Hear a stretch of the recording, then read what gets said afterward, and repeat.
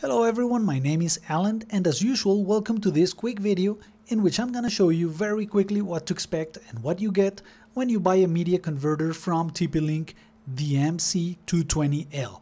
A very simple device, very easy to install, very well priced and yet very powerful.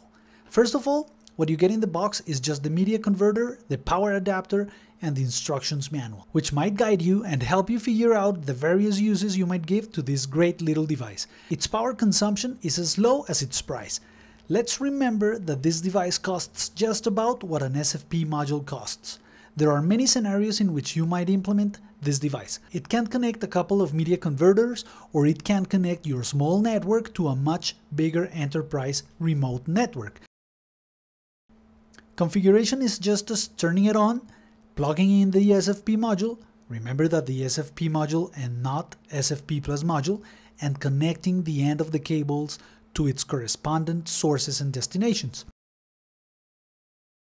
Remember that fiber optic connections can also provide you with an additional electromagnetic discharge protection as there are no copper conductors inside. Finally, we tested this little device not only with a TP-Link SFP module but also with a 6COM and a 10Gtek module, one for a 550 meter maximum connection and the single mode fiber connection for a maximum of 10 kilometer link. Both were very stable and had no issues. We ended up adding this device to our list of recommended products. Thank you very much for watching this video. We really hope it was of great help if you are considering to purchase one of these devices. See you next time.